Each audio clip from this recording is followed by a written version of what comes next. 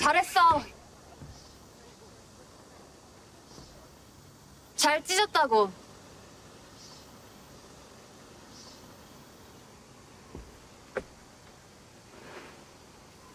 나아름 너는 착한 척 하는 게 아니라 그냥 착한 애야.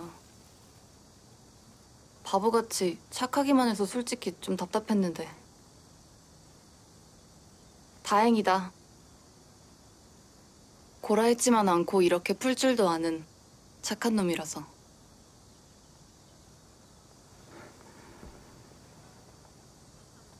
너 뭐냐? 뭐가? 너 뭔데? 최여름 네가 뭔데 나한테 그런 말을 하는데? 우리 둘이 닮았잖아. 바보같이 혼자 감당하고 애어른처럼 구는 거? 그래서 네 속 훤히 보이거든 난.